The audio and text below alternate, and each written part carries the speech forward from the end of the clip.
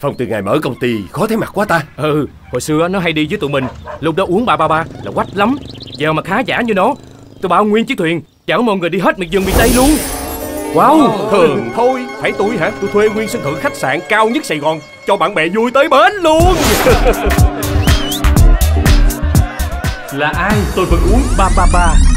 Mà bia mới ngon tuyệt nè. Nhưng uống cũng phải vừa đô thôi nha.